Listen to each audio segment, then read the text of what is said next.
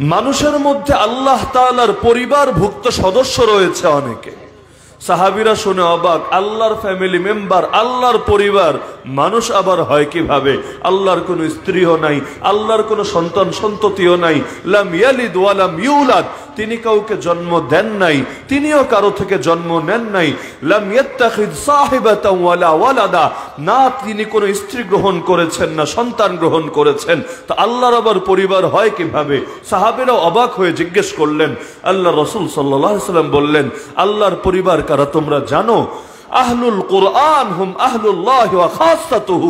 কোরআন ওয়ালা যারা, কোরআনের ধারক এবং বাহক যারা, তারাই আল্লাহর পরিবার, তারাই আল্লাহর বিশেষ লোক। সবারই কিছু খাস লোক থাকে, খাস মানুষ থাকে। যাদের সঙ্গে নিজের গোপন কথাগুলো লোকে শেয়ার করে হাদিসে বলা হচ্ছে, আল্লাহরও খাস লোক আছে, তবে কারা? দুনিয়ার সবাই না। আল্লাহর কিতাবকে, আল্লাহর কালামকে যারা সিনায় ধারণ করে, এই কিতাবের উপর ইমান রাখে এবং তদনুযায়ী আমল করে, তারাই আল্লাহর খাস বান্দা, তারাই কেমন যেন আল্লাহর পরিবার। তো ইসলামের হেফাজত, কোরআনের হেফাজত, দিনের হেফাজত, শরীয়তের হেফাজতের জিম্মাদারি আল্লাহ মানব জাতি আর জিন জাতিকে দিয়েছেন বলেই আল্লাহ তাদেরকে দামি বানিয়েছেন। এই যে আমানত আমানত আল্লাহ সবাইরে দেন নাই। কোরআনই জানিয়েছে, আমানত আমি পেশ করেছিলাম আসমানের সামনে, জমিনের সামনে, পাহাড় পর্বতের সামনে। তারা হিম্মত করে নাই, তারা অস্বীকার করেছে, আল্লাহ, এত বড় আমানত বহন করার মতো যোগ্যতা আমাদের নাই। ও হামালাহাল ইনসান, মানুষ আল্লাহর পক্ষ থেকে আমানতটা গ্রহণ করে নিল। ফলাফল, এখন আসমানও জান্নাতে যাবে না, জমিনও জান্নাতে যাবে না, পাহাড়ও জান্নাতে যাবে না, এত এত মখলুকরাও জান্নাতে যাবে না। আল্লাহ মানুষরই জান্নাতের যোগ্য বানিয়ে দিলেন। তো সর্বযোগে আমানতকে যে যত বেশি করে ধারণ করবে, আসমানে তার দাম তত বেশি বৃদ্ধি পাবে। ওমর আল্লাহ বলেন, নাহনু কৌমুন আজান ইসলাম। আমরা হচ্ছি সেই জাতি যাদেরকে আল্লাহ ইসলামের ওসিলা ইসলামের বরকতে সম্মানিত বানিয়েছেন। ফাইদাব তাগাইনাল ইজ্জাতা ফি আল্লাহ এখন ইসলাম ছেড়ে অন্য যেখানে ইজ্জত তালাশ করি না কেন, যেহেতু আল্লাহ ইসলামের বরকতে ইজ্জত দিয়েছিলেন, যখন ইসলাম ছাড়তে শুরু করব, যিনি আগে ইজ্জত দিয়েছিলেন, তিনি এবার লাঞ্ছিত করে ছাড়বেন। তা আমাদের মূল্য, আমাদের সম্মান, আমাদের মর্যাদার মূল ভিত্তি এটা। আমরা আল্লাহর আমানতকে ধারণ করেছি। এ কারণে রসুল উল্লাহ সাল্লাম বলেন, সোননে আবিদাউদে বর্ণিত বিশুদ্ধ হাদিস إن الله يبعث لهذه الأمة على رأس كل مئة سنة من يجدد لها دينها প্রত্যেক শতাব্দীর মাথায় আল্লাহ উম্মতের জন্য এমন লোকদেরকে পাঠিয়ে দেন যারা পৃথিবীতে এসে ইসলামকে দিনকে সংস্কার করে দিনের নামে যত বেদাত আবিষ্কার হয় যত শিরিক ঢুকে যায় দিনের মধ্যে এগুলোর বিরুদ্ধে মোকাবেলা করে যুদ্ধ করে জিহাদ করে এবং আল্লাহ যেভাবে দিন দিয়েছিলেন সেভাবেই হেফাজত করে তো হেফাজতে ইসলামের দরকার আছে নাকি নাই? আল্লাহ রসুল এটাই স্পষ্ট জানালেন যে অতীতে এক নবী চলে গেলে তো আরেক নবী আসতো। যদি এমন হতো মাঝখানে কিছু ফেতনা ঢুকে যেত, পরবর্তী নবী এসেই হাল ধরত এবং ফেতনাগুলোর মোকাবেলা করে উম্মতকে আবারও শহীদিনের উপর নিয়ে আসতো। কিন্তু আমার রসুলের পর কি আর কোন রসুল আসবে? কেউ যদি নিজেকে নবী রসুল বলে দাবি করে, নাসির নগরের লোকেরা কি তারে নবী আর রসুল বলে মানবে? গোলাম আহমদ কাদিয়ানিও তো দাবি করেছিল। আপনারা সেই কাদিয়ানিকে কি নবী মানেন না দাজ্জাল মানেন? মুসলমান মানেন না নিকৃষ্ট কাফের মানেন? এমন নিকৃষ্ট কাফের যে আল্লাহ রসুলের সামনে বেদবি করার কারণে এই পৃথিবীতে পৃথিবীতে মুসলিম পরিচয় নিয়ে বেঁচে থাকারই অধিকার রাখে না। তো এখন আল্লাহ রসুল তো চলে গেলেন, তারপর তো নবী কেউ আসবে না রসুল কেউ আসবে না। তো ইসলামের নামে যত বেদাত আবিষ্কার হবে, যত শিরিক আবিষ্কার হবে, বিভিন্ন ভার্সন তৈরি হবে, এগুলোর মোকাবেলা কে করবে? আল্লাহ রসুল জানিয়ে গেলেন, পেরেশানির কিচ্ছু নাই। আল্লাহ কোন শতাব্দীকে মুজাদ্দিদ থেকে খালি রাখবেন না প্রত্যেক শতাব্দীতে আল্লাহ এমন লোকদেরকে তৈরি করবেন যারা দিনকে সংস্কার করবে। সংস্কার বুঝেন? একটা ছুরি বাসায় পড়ে থাকলেও দেখবেন জং ধরে যায়। কোরবানি যখন আসে, এটারে ঘষে ঘষে আবার ধার করতে হয়। ধার করলে এটা দিয়ে গরুডারে ঠিক মতো কাটা যায়। যদি ধার না করেন যত দাম দিয়ে বানান দেখা যায় কোরবানির দিন এটা দিয়ে লক্ষ্য অর্জন করা যায় না। উল্টো এলাকার মানুষের কাছে বকা শুনতে হয়, কি ছুরি নিয়ে আসলি? গরুর চামড়াই তো কাটে না এটা দিয়ে। তো ইসলামের মধ্যেও যত জং ধরবে, কিছু লোক ধরানোর চেষ্টা করে যাবে, এগুলো দূর করার জন্য আর মোকাবেলা করার জন্য আল্লাহ হার জামানায় কিছু লোক তৈরি করে দিবে। এই হাদিসটা নিয়ে আমাদের সমাজে কিছু মানুষের ভুল ধারণা আছে। কেউ কেউ ব্যাখ্যা করে প্রত্যেক একশো বছরে মাত্র একজন করে মুজাদ্দিদ আসবে। আবার কবে আসবে? একশো বছর তো লম্বা একটা সময়। এখন একশো বছরের শুরুতে আসবে না শেষে আসবে না মাঝে আসবে? কেউ ব্যাখ্যা করে একশো বছরের শুরুতে আসবে। কেউ ব্যাখ্যা করে একশো বছরের শেষের দিকে আসবে। তার মধ্যে আবার পেরেশানি, বছরের হিসাব কোন বছর? এইটা কি আরবি বছর নাকি ইংলিশ বছর?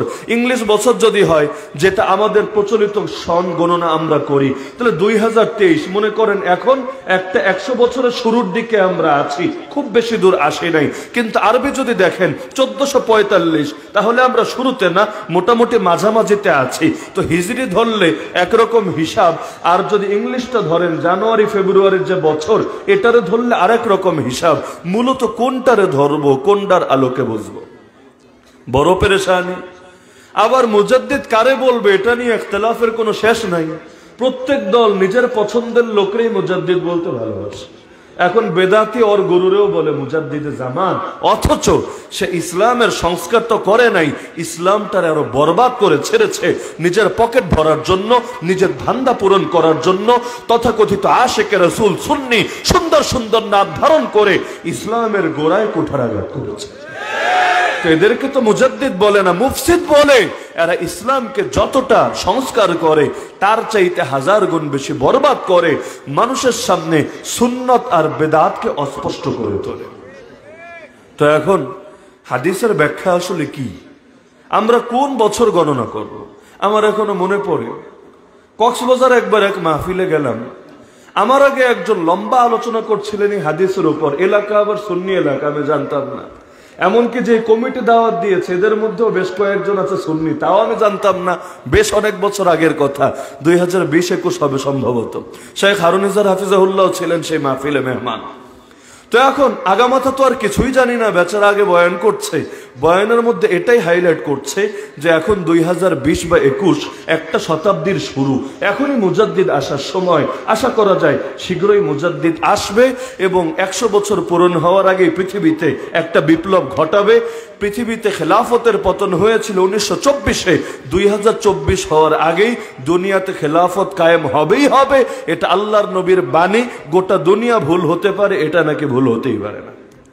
তা আমি তারা ধরেছিলাম বয়ানের শেষে, ভাই রে।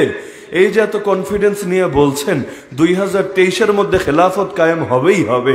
এবং এটাকে নিজের কথা না, রসুলের কথা বলে চালিয়ে দিচ্ছেন। যদি এমন হয়, দুই হাজার চব্বিশ চলে আসলো, খেলাফত কায়েম হলো না, তখন আপনার শ্রোতাদের মনের মধ্যেই আল্লাহ রসুলের হাদিস নিয়ে সন্দেহ দেখা দেবে। তখন অনেকে ভাবতে শুরু করবে কিরে আল্লাহ নবীকে তাহলে ভুল বললেন? নবীকে অবাস্তব কথা বললেন? এভাবে তো মানুষের ইমানকে ফেতনার মুখে ফেলে দিবেন। এই বাংলাদেশেও মাঝে মধ্যে ইমাম মাহাদি কবে আসবে এটা ডেট ঘোষণা করে কিছু একবার বলা হলো দুই হাজার বারোতে ইমাম মাহাদি আসবেই আসবে। এরও আগে দুই হাজার ছয় না কত সালটা ঘোষণা করা হয়েছিল, এই বছর কেয়ামত হবেই হবে। পৃথিবীর সঙ্গে কোন একটা গ্রহের নাকি টক্কর লাগবে, সংঘর্ষ হবে। গোটা দুনিয়া ফেটে ভেঙে চৌচির হয়ে যাবে এবং বিজ্ঞানের আলোকেই তারা দাবি করতে লাগল, এই বছর কেয়ামত হবেই হবে। এখন কেয়ামতের বয়স পাড়ি দিয়ে দেড় যুগের অধিক সময় ধরে আমরা এখনও টিকে আছি, এখনও কেয়ামত আসে নাই। ইমাম মাহদির হালত তো আমরা দেখলাম, দুই হাজার বারোরে ঘোষণা করা হলো, আসলো না। দুই হাজার ষোলোকে বলা হলো, আসলো না। অবশেষে দুই হাজার উনিশকে বলা হলো, আসলো না। এরপরে দুই হাজার বাইশ তেইশকে ঘোষণা দেওয়া হয়েছিল, বাইশ তো শেষই, তেইশও শেষের পথে, আসে নাই। এখন নতুন করে শুনছি দুই হাজার আঠাইশে নাকি আসবে। আর এভাবে বারবার বারবার ঘোষণা দিতে থাকলে মানুষের ইমান খালি ফেতনার মুখেই পড়বে। যেই জিনিস আল্লাহ স্পষ্ট করেন নাই রাসুল স্পষ্ট করেন নাই, সেই জিনিস তোমাদের স্পষ্ট করার কি দরকারটা পড়েছে?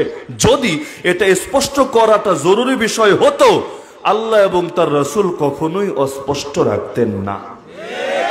আল্লাহ রসুল বলেন তারাক তুকুম আলা মাহাজ্জাতিম বাইদা। আমি তোমাদের কেমন এক দিন দিয়ে যাচ্ছি, এমন সুস্পষ্ট প্রমাণের উপর প্রতিষ্ঠিত রেখে যাচ্ছি। লাইলুহা কানাহারিহা যার রাত হলো দিনের মতো। আমাদের দুনিয়ার রাত হলো অন্ধকার, দিন হলো আলোকিত। কিন্তু রাসুল বলছেন, তোমাদেরকে যে ধর্ম আমি দিয়ে যাচ্ছি, এটা রাতও দিনের মতো। তার মানে দিনও যেমন আলোকিত, রাতও একই সমান আলোকিত। এই ধর্মে ইসলামে অস্পষ্টতা বলতে কিচ্ছু নাই, অন্ধকার বলতে কিচ্ছু নাই, ধোয়াশা বলতে কিচ্ছু নাই। লা আমি নবী দুনিয়া থেকে যাওয়ার পরও এই ইসলাম থেকে বরবাদ হবে, গোমরা হবে। একমাত্র তারা যারা আসলে কপাল পোড়া না হলে এত সুস্পষ্ট দিন পাওয়ার পর কেউ গোমরা হওয়ার কথা না। আল হালাল উবাইন অল হারাম উবাইন আল্লাহ রসুল বলে হালাল স্পষ্ট, হারামও স্পষ্ট। ইসলামের মৌলিক বিষয়ে কোনো অস্পষ্টতা নাই। আর যেগুলো অস্পষ্ট, সেগুলো স্পষ্ট করার মধ্যে আমাদের আলাদা কোনো জরুরত নাই। যেমন আলিফলাম মিম। কে দাঁড়িয়ে বলতে পারবেন, এটার সুনিশ্চিত অর্থ, অকাট্য অর্থ এটাই সম্ভব না। যদি ধারণা করে বলেন, সেটা আপনার ধারণা, সুনিশ্চিত কোনো বিষয় না। তালিফলাম সুনিশ্চিত অর্থ কে জানেন? বলেন না, কে জানেন? তা আল্লাহ কেন স্পষ্ট করলেন না? যদি এটা জানাটা এবং এটার মূল অর্থ অবগত হওয়াটা সকলের জন্য জরুরি হতো, অবশ্যই আল্লাহ স্পষ্ট করতেন করতেন।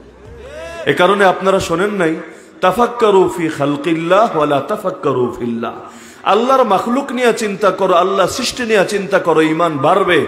আল্লাহর নিয়ে চিন্তা করতে বইসো না, বড় ফেতনার মধ্যে পড়ে যাবা। কিছু লোক যদি আল্লাহর নিয়ে গবেষণা করে, আল্লাহ কই, আল্লাহ কেমন, আল্লাহ কি, ইত্যাদি ইত্যাদি ইত্যাদি চিন্তা করতে করতে মাথার চুল যদি ফেলেও দেয়, পেরেশান আর পেরেশান হতেই থাকবে। আল্লাহ নিজের ব্যাপারে যা জানিয়েছেন, এর বাইরে একটা জিনিস জানাও, তার পক্ষে কোনোদিনও সম্ভব হবে না। তো এখন, এই হাদিসের অর্থটা আসলে কি? যে আল্লাহ তাআলা শত বছরে এমন লোকদের পাঠাবেন যারা দিনের সংস্কার করেন। খুব ভালো করে মনে রাখবেন, এখানে মঞ্জুর নোমান রহমতুল্লাহ এই ব্যাপারে আলাদা কিতাবই আছে লম্বচরও লেখা আছে। কারও জানতে ইচ্ছা হলে সেখান থেকে দেখে নিন মুজদ্দেদ আলফেসানি রহমতুল্লাহ উপর তার স্বতন্ত্র কিতাব আছে। সেই কিতাবের প্রথম অধ্যায় লম্বা চৌড়া আলোচনা করে মহাদ্দিসিনে কেরামের ব্যাখ্যাগুলো এনে স্পষ্টভাবে তিনি দেখিয়েছেন, মূল কথাটা আমি সংক্ষেপে শুধু তুলে ধরছি। এখানে শতাব্দীর শুরু উদ্দেশ্য না, শতাব্দীর শেষ উদ্দেশ্য না।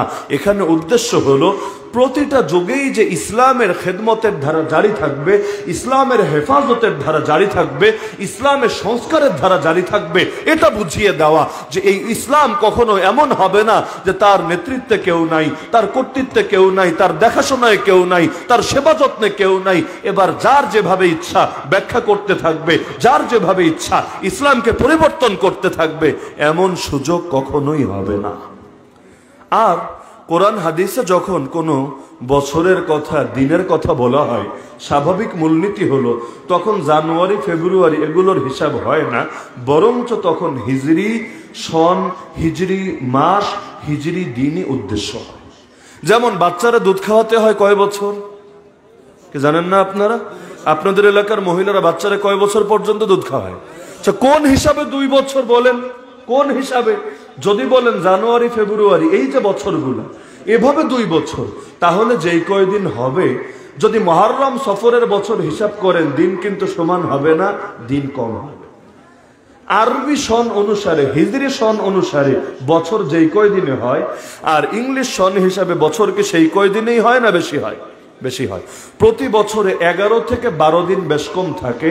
আরবি মানে হিজরি বছর আর ইংলিশ যেটা আমরা ইংলিশ বলি। আসল নাম ইংলিশ না, বোঝার স্বার্থে আমি বারবার এই শব্দ ব্যবহার করছি। ইংলিশ বছর আর আরবি বছরের মধ্যে গড়ে প্রতি বছর এগারো থেকে বারো দিন বেশ কম হয়। তো দুই বছর মিলে বাইশ থেকে চব্বিশ দিন পর্যন্ত বেশ কম হবে। তো এবার হুজুরের থেকে ফতোয়া নিলেন, বাচ্চারা দুই বছর দুধ খাওয়াবেন। এখন হিসাব কি, জানুয়ারি, ফেব্রুয়ারি দিয়ে করবেন না মহরম সফর দিয়ে করবেন? আপনাকে মহরম সফর দিয়ে হিসাব করতে হবে। এবং এভাবেই দুই বছর গুনতে হবে। এখন আপনি যদি ইংলিশ অনুসারে গুনেন তাহলে হুজুরের থেকে যে ফতোয়া নিয়েছেন, তার চাইতে বাইশ থেকে চব্বিশ দিন বেশি বাচ্চারা দুধ খাওয়া দিবেন একইভাবে জাকাত। জাকাতের মাসালা আপনারা জানেন, যেদিন আপনারা নেশাব পরিমাণ সম্পদের মালিক হন, সেদিনে জাকাত ফরজ হয় না। বরঞ্চ এটার এক বছর পূর্তি হওয়ার পর হাউলানুল হাউল বলে আরবিতে, এক বছর পূরণ হওয়ার পর জাকাত দিতে হয়। এই এক বছর কোন এক বছর? যদি বলেন ইংলিশ হিসাবে, তাহলে তো এখানে তিনশো পঁয়ষট্টি দিনের হিসাব আসবে। যদি বলেন আরবি হিসাবে, তাহলে এখান থেকে এগারো বা বারো দিন কম থাকবে। তো এখন হিসাব অধিকাংশ মানুষ ইংলিশ দেখে করে। জানুয়ারি মাসের দশ তারিখ আমি নেশাব পরিমাণ সম্পদের মালিক হয়েছি। পরবর্তী বছরের জানুয়ারির নয় তারিখ আমি জাকাত দিব। না ভাই, এভাবে হিসাব না। হিসাব আপনারে করতে হবে আরবি দিয়ে। উদাহরণস্বরূপ, রমজান মাসের এক তারিখ আমি নেশাব পরিমাণ সম্পদের মালিক হয়েছি। পরবর্তী বছর শাহবানের শেষ দিন আমার বছর পূরণ হবে। তখন আমাকে জাকাত অবধারিতভাবে দিতে হবেই। হবে তাহলে এই জিনিসটা সর্বদা সর্বদা মনে রাখবেন। কোরআন হাদিসে যেখানে তারিখের কথা, মাসের কথা, বছরের কথা আসে, সেখানে ইংলিশটা বিবেচ্য হয় না, বরং হিজরি বা আরবিটাই বিবেচ্য হয়ে থাকে। যেমন প্রতি মাসে তিনটা দিন রোজা রাখা শূন্য। কোন তিন দিন? তেরো, চোদ্দ এবং পনেরো তারিখ। এবার আমারে বলেন, কোন তেরো, চোদ্দ, পনেরো? জানুয়ারি তেরো, চোদ্দ, পনেরো। ফেব্রুয়ারির তেরো, চোদ্দ, পনেরো? না, মহারামের তেরো, চোদ্দ, পনেরো